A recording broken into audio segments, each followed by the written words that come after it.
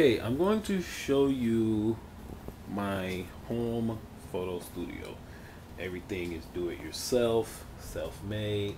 I'll just let you take a look and I'll explain everything that we got here. Right there. Work lights over there. Homemade softbox over here. Made it with whiteboard. That looks black from Target. Got a reflector here stool, and I even have a mirror that I use as a reflector also.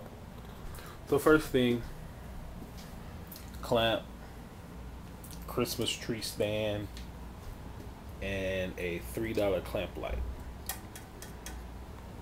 Next thing is, the paper should be seamless, but I went to Target and got two of them I take them together with like tape. I don't know if you can see the seam there, but at the in the photos that I'll put up at the end, you won't be able to see that.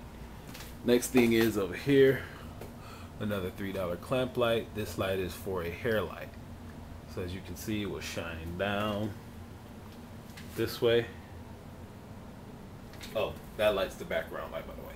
It will shine down this way. The subject is sitting here on the stool and that right there is a car window sunlight reflector.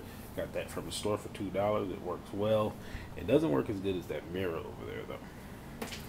And these right here I don't want to shine it too brightly but these are regular work lights. I think these cost me $29 and I haven't used them a lot. Because I'm trying to figure out a way to diffuse them because that light is so doggone harsh so at the end of this, I will show you some pictures I took with them. I know I need a lot of work, but your comments, criticisms, whatever you have would be greatly appreciated.